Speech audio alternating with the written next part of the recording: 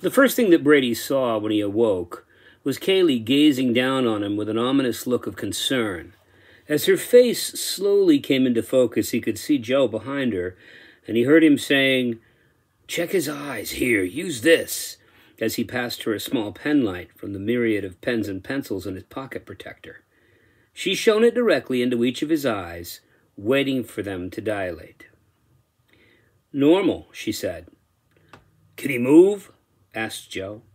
I don't know, said Kaileigh, as she put her hand on his cheek and asked him gently, Brady, can you hear me? Brady smiled and said, You have the most beautiful eyes, Athena. His mind was swimming, but he couldn't help but think how positively radiant she seemed. It was as though her whole face was surrounded by a glowing halo. She looked up at Joe and said, He may have brain damage. They heard Brady begin to laugh. I'm okay, he said. I just had the wind knocked out of me, that's all. Boy, you have some explaining to do, Joe said. Come on, she said. Can you get up? He arose from the floor with her help, and she led him to the chair. Brady, it's hard for us to understand what happened here. I know. I guess it's time to set the record straight. I'm not afraid anymore, anyway. What do you mean? asked Joe. I mean, I can tell you what I know without caring if you believe me, because if we're going to survive, you've got to believe me. The world has changed, and we've all changed with it. I seem to have experienced the most change, but Kaileigh's different now, too. I'm not sure about you, Joe, but I bet even you have experienced the world a little differently since everybody else died. Both Kaileigh and Joe remained silent to this assertion.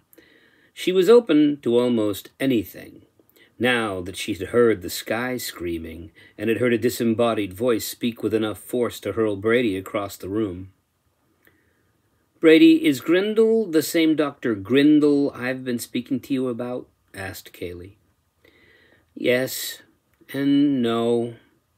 He's in there, this Dr. Grindle, but there's more to Grendel, the monster, than the doctor. It's like Dr. Grindle is possessed by some kind of spirit I don't know where the monster Grendel came from, but he seems to know me. He keeps calling Dr. Grindle Grendel, like the monster in the Beowulf story. Only he's just a man. I mean, I should know. I spent a lot of time with him, she said. That's because you don't see him as he really is. Not yet, anyway, because I do. I don't know why I can see him and you can't, but I swear to you, the thing that I fought was more than a man. Way more. Possessed? asked Joe. Like demonic possession? I mean, are you saying Dr. Grindle, the head of the CDC's response unit and the originator of the plague, is actually possessed by a. a demon? No, I, I didn't say he was possessed by a demon, Brady countered. I said it was like he was possessed. But he isn't a demon, not like from hell. This thing that has power over him is using him mostly as a vehicle riding around on top of him, using his mouth, his eyes, and his hands and feet. A parasite? asked Kaileigh. Are you saying he's being controlled by a parasitic being? Sort of. It's hard to put into words. Would it make any more sense if I said that to you that he looks like a man, but to me, when I look at him, I, I see a huge monstrous body with a face that keeps changing shape? Oh, yeah, that would make a lot more sense, she replied sarcastically. Well, it's true. I see things differently than I used to. and I don't know why. But it's like I'm more in tune with the world than I ever was before the abandonment. I can sense things sometimes before they happen. I interact with things that are impossible to interact with. I thought I was going crazy, but after tonight, there's no going back. I mean, this is who I am. This is me. I'm his enemy. Joe took a chair and brought it close to Brady's so that they were sitting knee to knee. Intent upon discovering the solution to this mystery, he said, Give me some specifics. Uh, what do you interact with? I talk to statues and books, and they talk back. It's true, muttered Kaileigh. I can understand Hugin when I ask him yes or no questions, and he understands everything I say. That doesn't make sense, said Joe, wanting to believe but needing more proof. Um, Joe, I don't know how to say this, but I saw him talk a 500 pound moose off the highway. He walked right up to it and just had a conversation.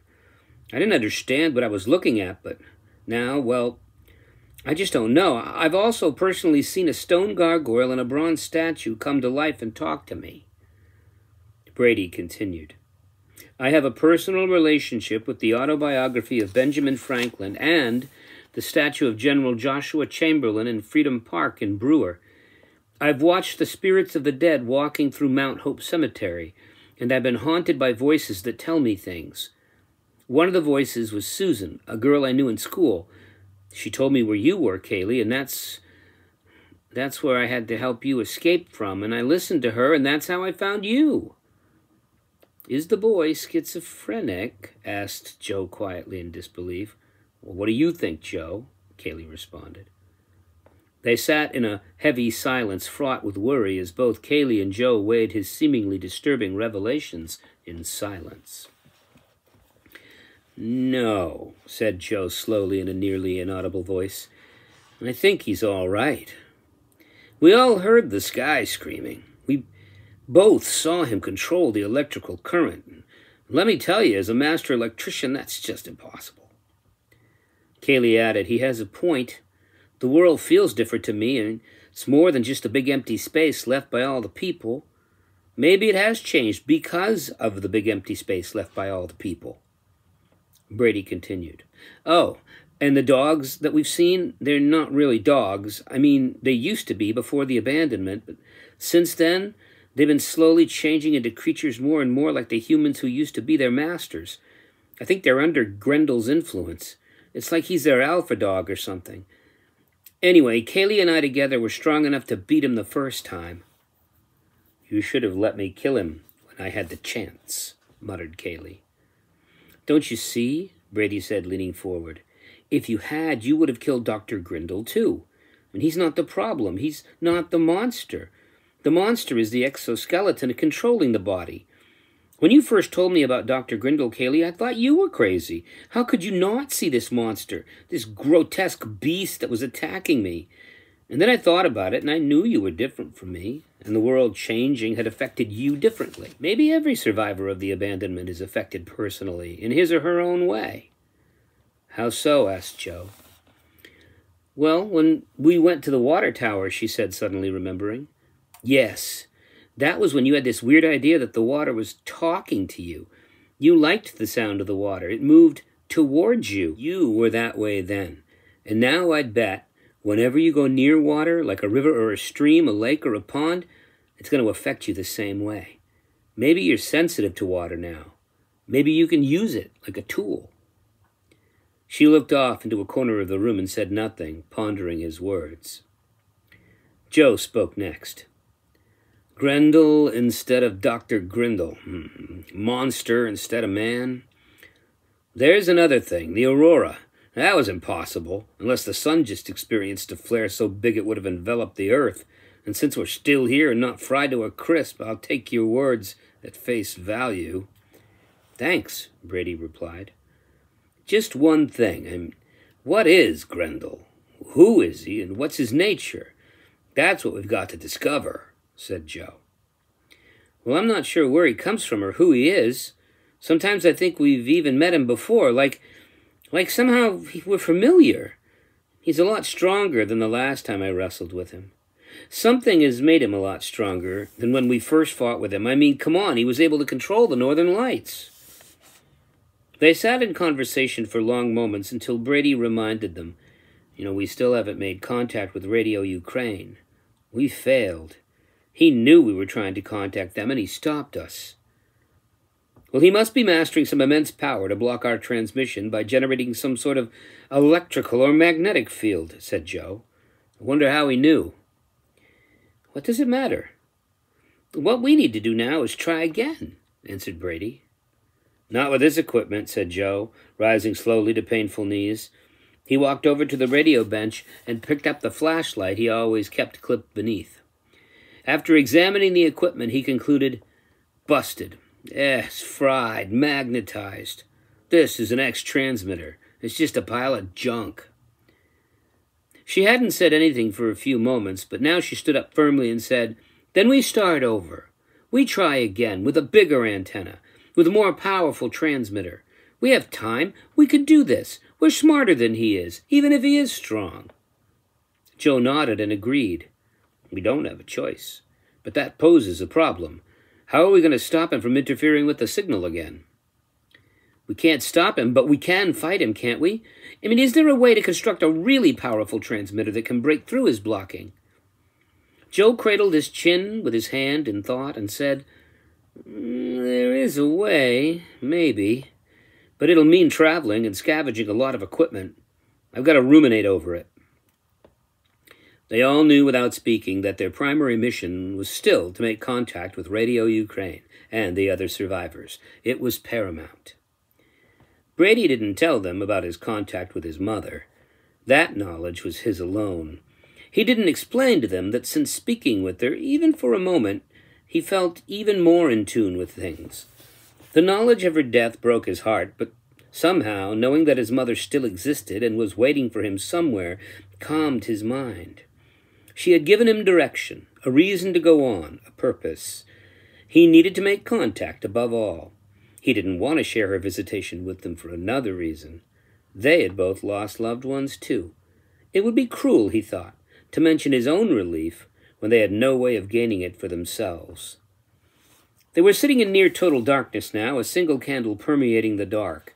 Their faces were waxing moons in the darkness, half lit, half shadow, I don't believe in demons, said Kaileigh. Do you believe in evil? asked Joe paternally. I guess, she answered.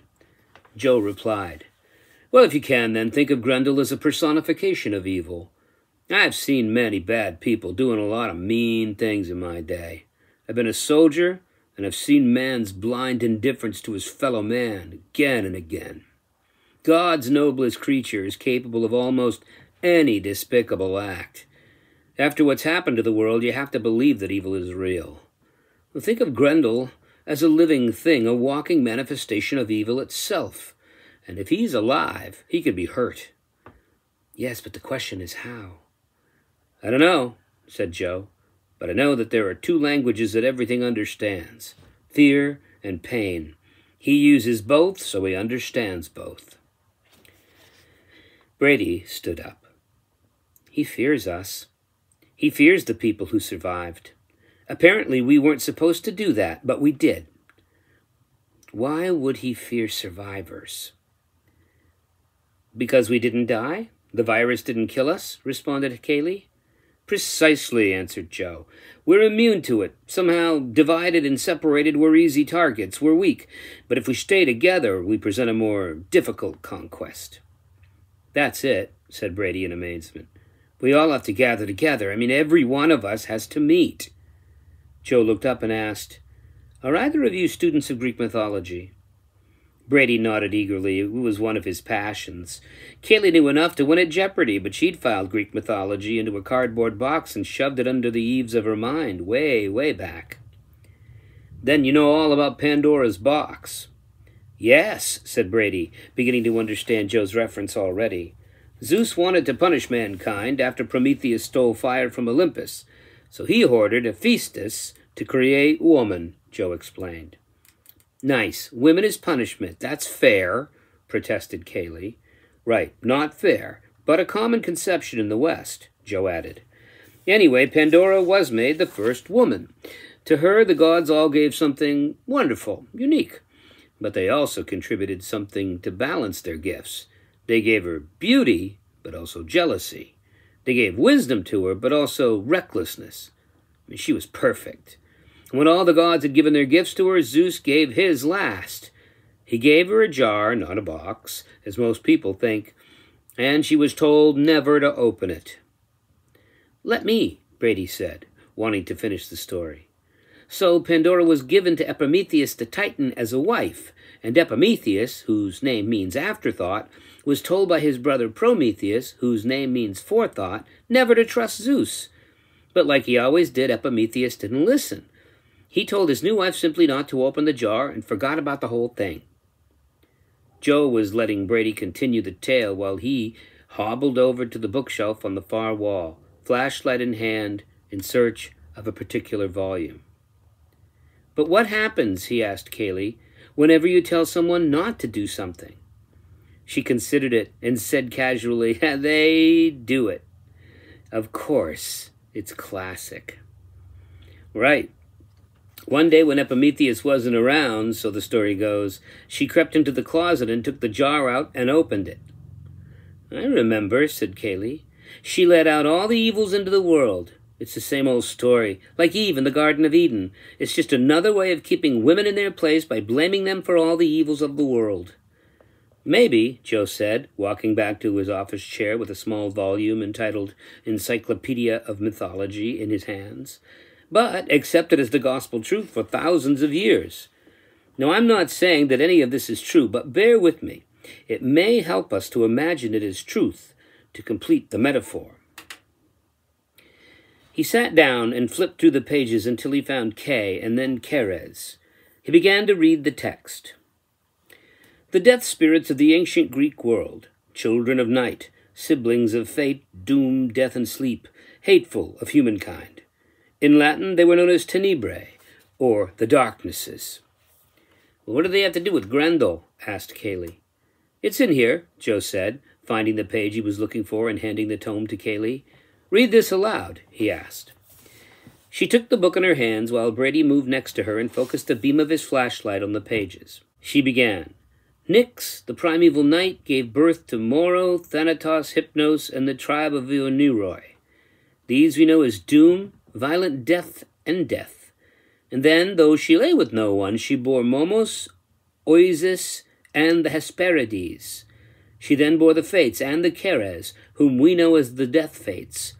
Then she bore Nemesis to afflict mankind, and Apate, or deceit, hateful old age, that the Greeks called Geras, and then hard-hearted Eris, known as strife.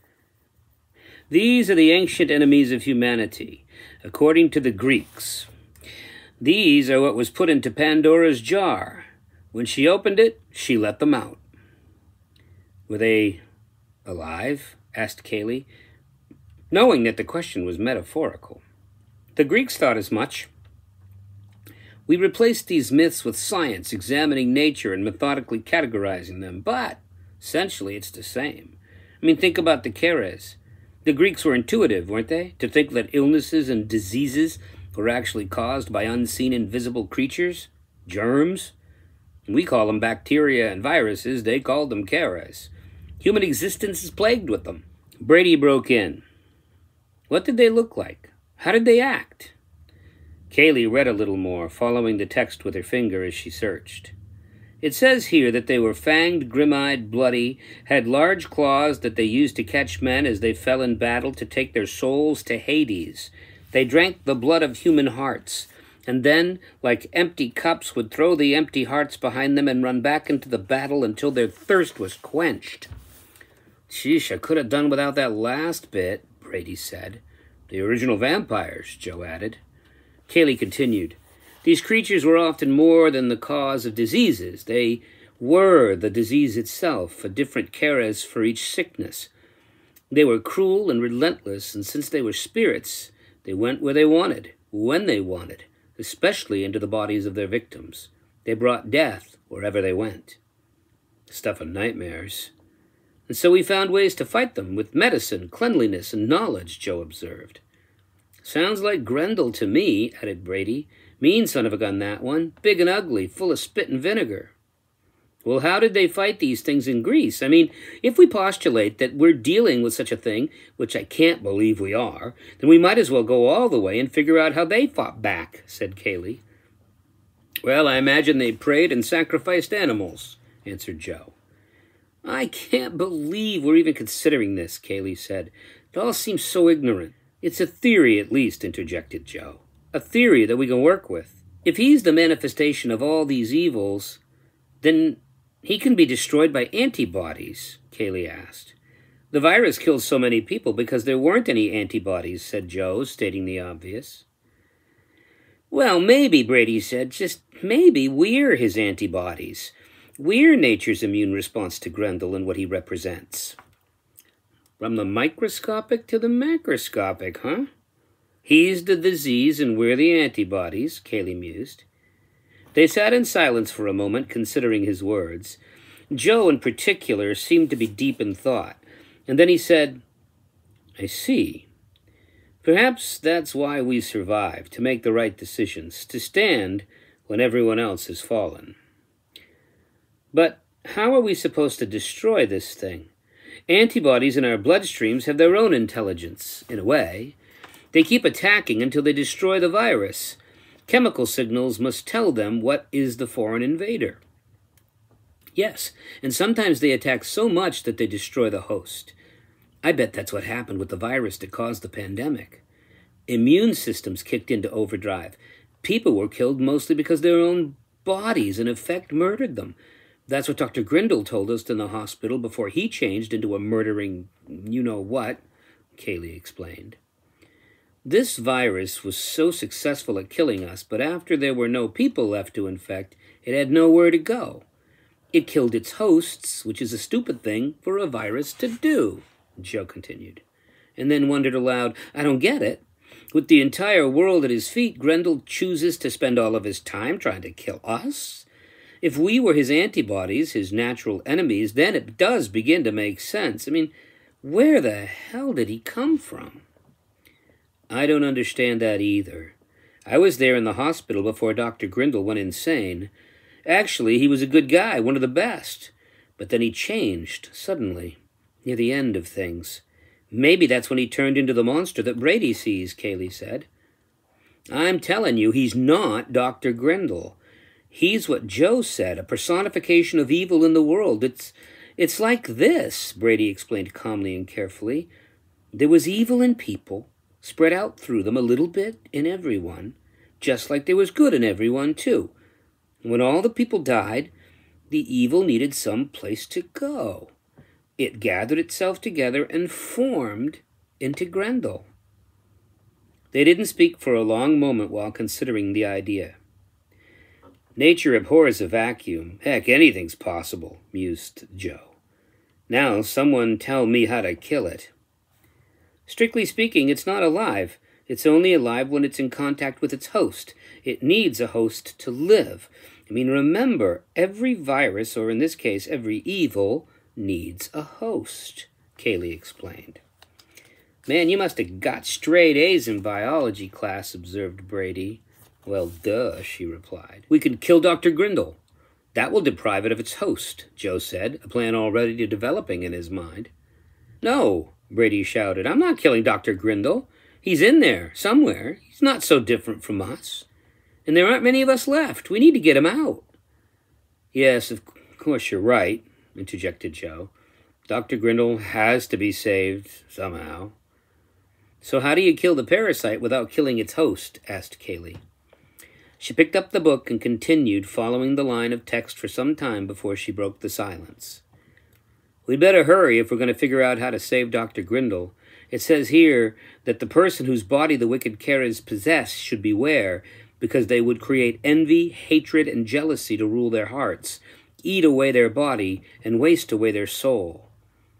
You know, Brady said with a hopeful smile forming on his face, the myth of Pandora's box does say that she didn't let everything out of the box.